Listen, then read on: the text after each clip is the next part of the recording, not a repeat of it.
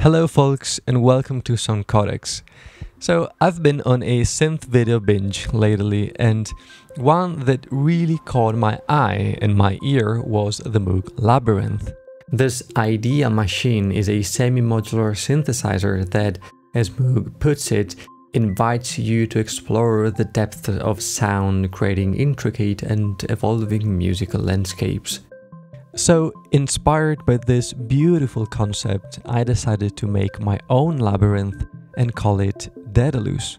The name Daedalus comes from the legendary Greek architect and inventor known for his incredible skills and creativity, and one of his most famous works was The Labyrinth, a complex maze designed for King Minos of Crete to hold the Minotaur.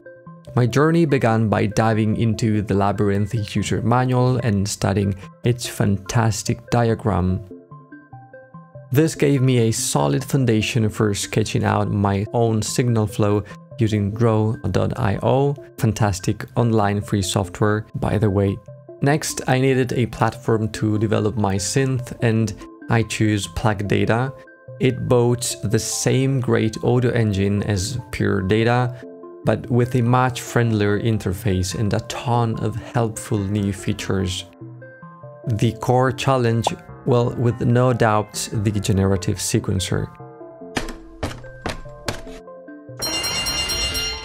It took hundreds of if-else statements to bring it to life. Once that was done, it was time for the audio synthesis. When modeling digital synths, aliasing is your first enemy. Here I was checking some tones generated uh, with an early Daedalus prototype and yeah, this is a ton of aliasing.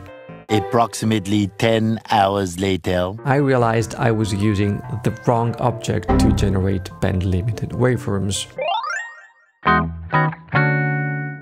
The not so fun part, for me at least, was designing the GUI. With zero graphic design experience,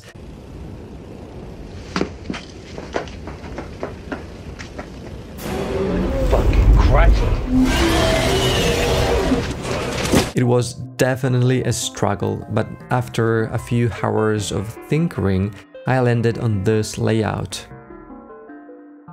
And yes, that's a glorious mess of cables. I know PD offers send and receive objects for cleaner organization, but they can impact performance on very large scale projects like mine. So I embraced the spaghetti cable programming to optimize the CPU performance and timing. And I'm very proud to say that when Daedalus is running, CPU load stays below 5%, which was my very first goal. yeah boy. And here it is, the finished Daedalus version 1.0.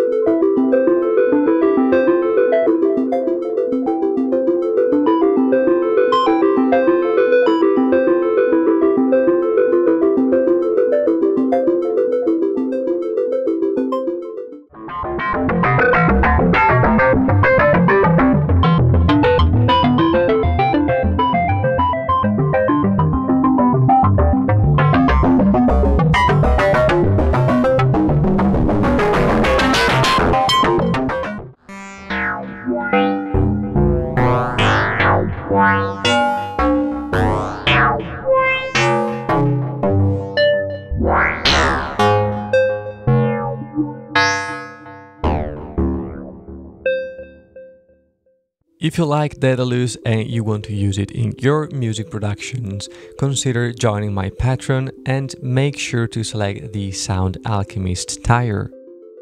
That said, as always, thanks for watching and I'll catch you in the next one.